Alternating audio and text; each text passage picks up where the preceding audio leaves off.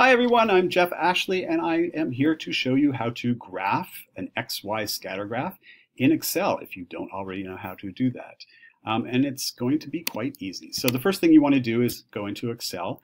In my little fictitious experiment here, I was changing my temperature of my chemical reaction and monitoring and collecting data on the concentration of a chemical product.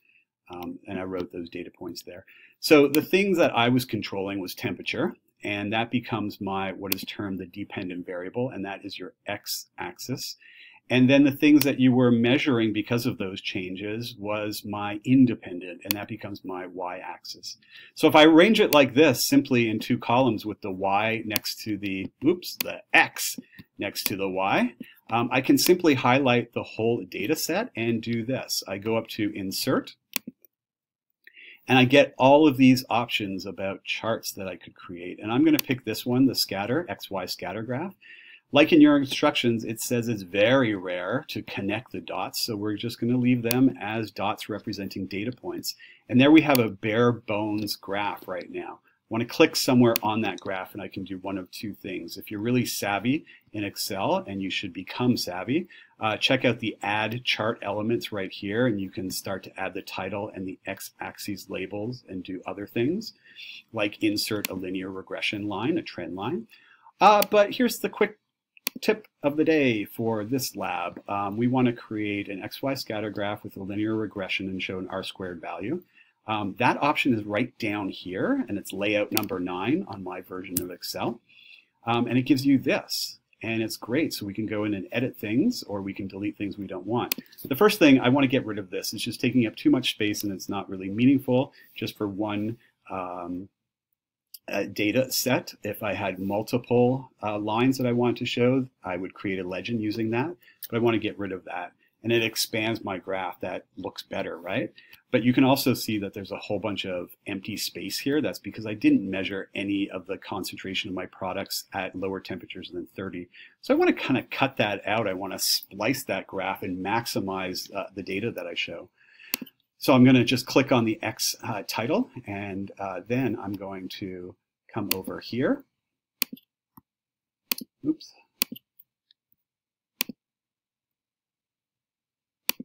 Where is it? Where is it? Oh, there it is. Axis options and the bars.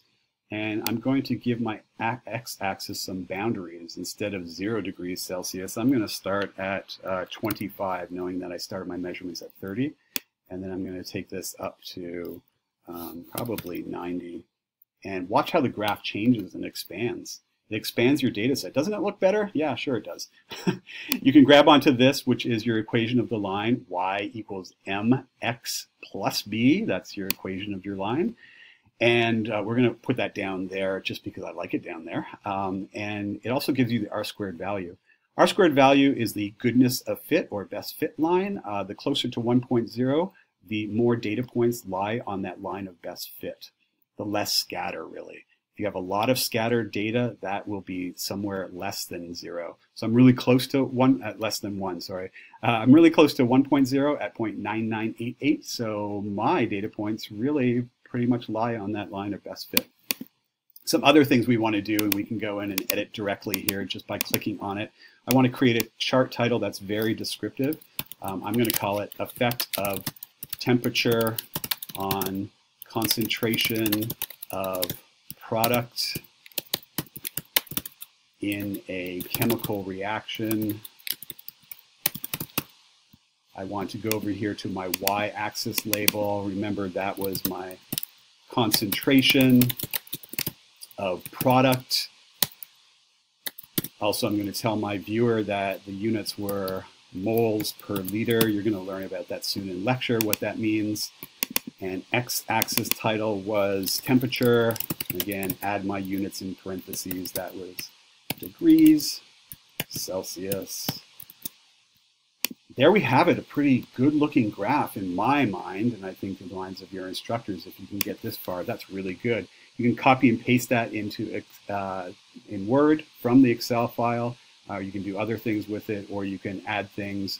You can annotate directly on this within Excel. There's a lot of features. Not going to go into that now. You can explore those on your own or ask somebody has used, who has used those features and they can identify them and help you.